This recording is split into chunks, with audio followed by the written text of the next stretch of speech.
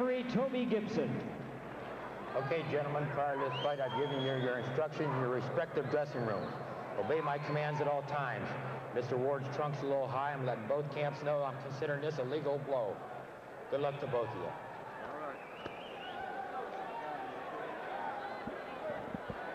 Very good crowd on hand here for the debut of boxing at the MGM Grand Garden Arena. 35-year-old Tommy Hearns proving the skeptics wrong. He told us yesterday okay. he's looking to stay busy, four or five fights this year.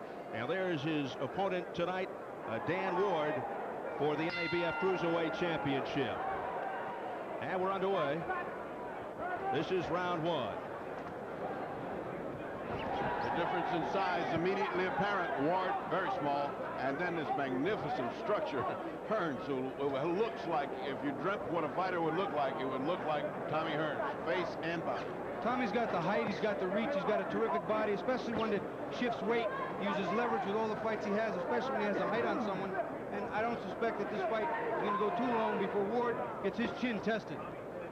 Tommy Hearns back wearing the Kronk colors. Funny story. Watch that head, Ward. Watch that head. At the press conference, Dan Ward got up and said, I want to thank Don King, but I'm upset about one thing. Tommy Hearns talks about the fight, but never mentions my name. Tommy barked out, head, what is your name?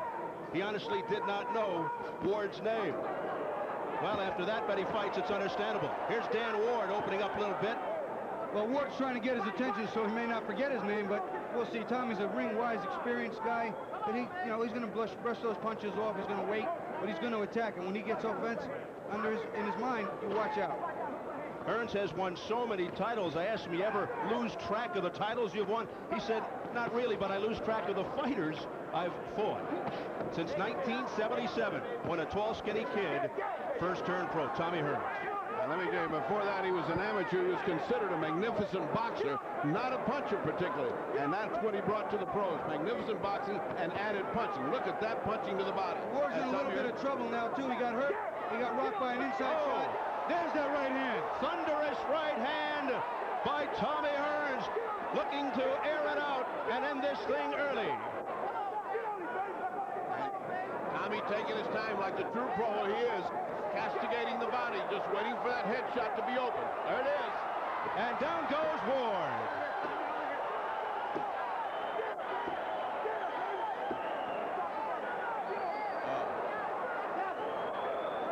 He has no idea where he is.